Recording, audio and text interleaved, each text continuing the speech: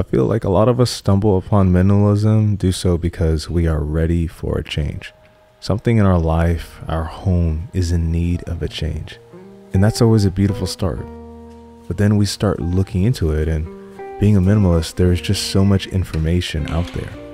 And we're now in a world where everyone has their way of doing it, and we can sometimes cling to that way, their view of what minimalism should be. And I won't lie, I share mine on here, only in hopes that it inspires someone out there. But sometimes you, the other person on that side of the screen, starts to fall victim to decluttering things that someone else says you should. All of us social media minimalists have our 15 things we don't need or 30 things we've decluttered. And those are great. It's always great to try someone else's perspective or approach out. You might try it out and it, it works for a little bit, but the problem with this is that you can't fully replicate someone else's journey towards less. You only start to look at the things, what can I declutter? What are some things that someone else has decluttered? And you don't really know the reason why you want to de declutter those things. You start to see, ooh, that's that's another thing I can get rid of. But I really feel like this journey needs to be a lot more personalized. It needs to have, it's, you, you have to have your own reason behind why you want to do this. You've got to have your own defining moment. You have to come to a place where you're like, I know what isn't bringing me joy and I know what I want. And I want to get rid of those things that are no longer bringing me joy.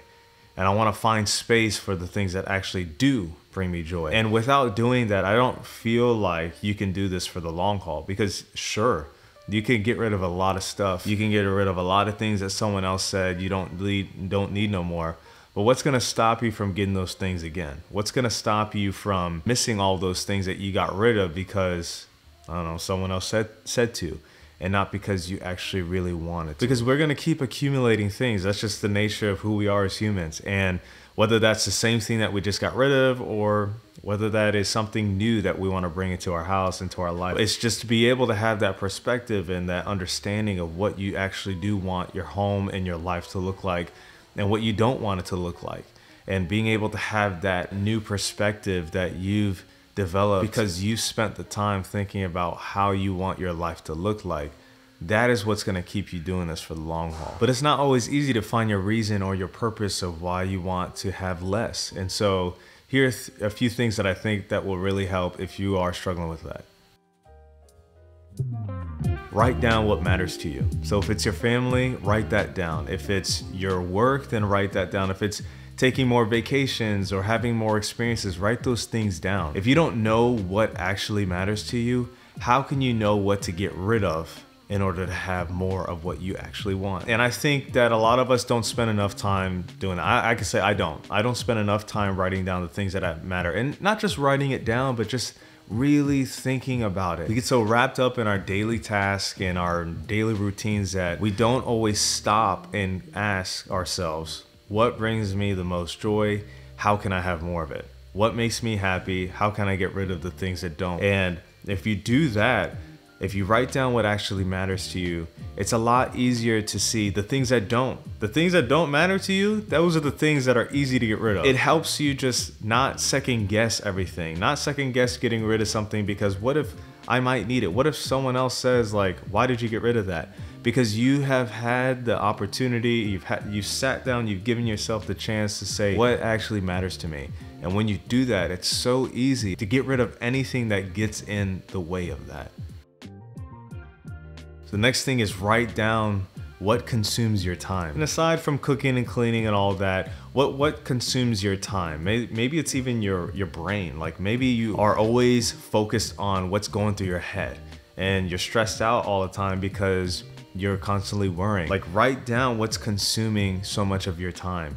And when you can do that, you can figure out what are the things that are getting getting in the way of not only just having more free space, but having time for the things that make you happy that's your family that you want to spend more time with, what takes you away from that? Are there commitments in your life that you're saying yes to that you really don't need to, but you are, you know, you struggle with people pleasing like a lot of us do, and you're saying yes to those things, but you can't spend time with your family, but you know, you're kind of stuck in both worlds. You're worried about disappointing your family, and then you're worried about disappointing whoever you said, yes, I can do whatever too. And I've also shared, like, we bought this house And I know that the essence of owning this home occupies my mind. Like the things that need to get done. Like if there's a leaky toilet or something needs to be done outside, I have to do that now. Like I can't just call a landlord and say, hey, this needs to be done. So I know that now this is occupying my mind because I own this thing and I've already shared as well. Like I don't, I don't regret that. I think it was the best move that we could have made in that moment. Like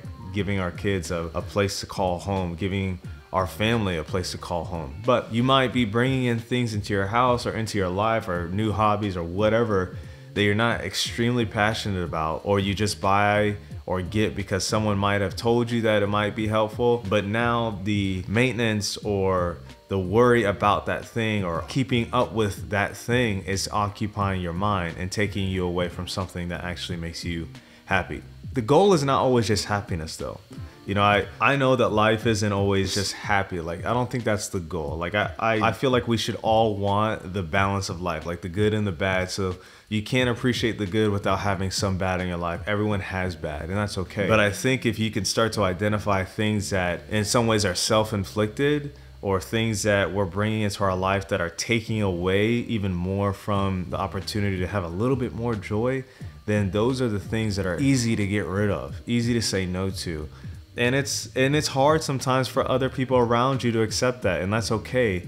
And you have to kind of be okay with people not accepting your decisions. And that's something that's not always easy because we have peers, we have family, we have all kinds of people that have their opinions about how we should be living our lives. And I'm not out there to change that. I really don't care. You shouldn't care either what people think about you or what what what you're doing with your own life. Thing is, everyone's going to have an opinion.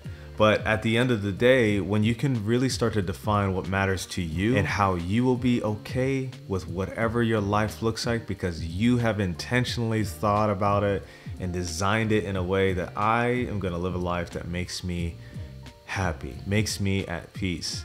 I'm gonna live, I'm gonna create a home that makes me feel calm, that makes me feel destimulated, that makes me feel less cluttered. You don't have to worry about what anybody says because you have taken control over your own life. And I, that's what I would want for anyone that I come across. Like, I want you to be able to live your own life and be happy with that life, and having less helps with that. And if you've identified something that isn't bringing you joy or making you happy and you're gonna get rid of it, if you're struggling with the idea of that, write down a pros and cons list. Like, what's the pros of getting rid of this one thing? And what's the cons of getting rid of this one thing? You might even write down so many cons, you're like, you know, I probably shouldn't get rid of it, and that's okay. But I would say the majority of the times, if it's something that's getting in the way of what you want in your life, in your home, and you write down a pros and cons list, you are likely going to see that there's a lot more pros to getting rid of it, and it makes the decisions just so much easier. So that's just a little nice little trick to use if you're, you know, wrestling with certain things. And once you once you do this a few times, you're not going to need to do this all the time. Like you're going to have those quick decision making and feel a lot more comfortable with making a decision quickly about the things that you want to get rid of in your house or in your home or in your life. So if you've written out a list of all the things that you want to get rid of, all the things like, then you're like, ah, oh, it's off my chest. But you got to still get rid of it. You got to get up and do it and take the thing out or whatever.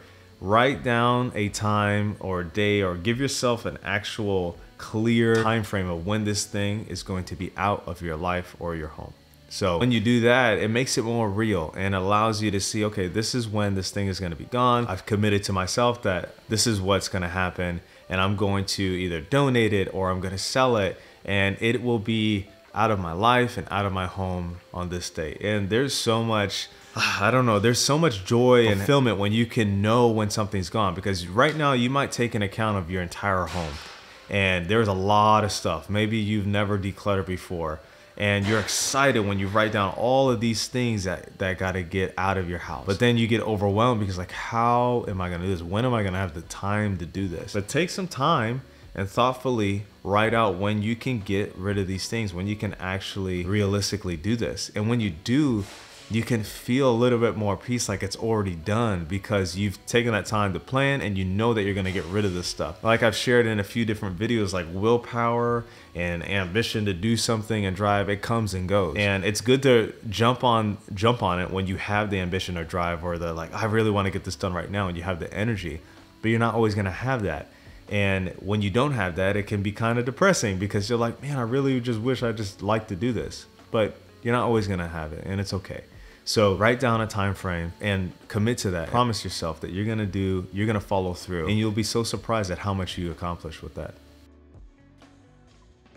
So you're not always gonna need to do this every time, and you're gonna start to do this on the whim. Like it's just gonna happen naturally in your head as you continue. You're not gonna need to write all of these things out. But it's good to do a couple times and once you do, you'll get that you'll get that habit of just going through this process naturally in your head. And you'll start to find the reason why you actually want less. Not because someone on social media said it, not because someone else came into your home and said it, but because you want less. Because you've you were able to see what is getting in the way of the joy and the life that you want and you'll start to have a little bit more say and control over your own life. And that's and that's what i want for you guys. So kindle your own fire. Come up with your own reason and purpose for your minimalism journey and journey for less. And i will see you in the next video. Love you guys